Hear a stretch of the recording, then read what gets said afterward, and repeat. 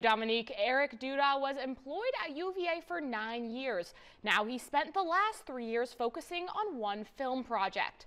Back in 2018, he learned that UVA constructed a memorial to honor the enslaved laborers who built the university.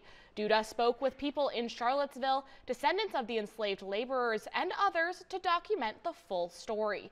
He says by the end of the year, the film will be available to the public honoring the the enslaved laborers that built UVA, um, but the descendants that are still in this community and have kind of been, you know, shunned out of the conversation for you know dozens of years.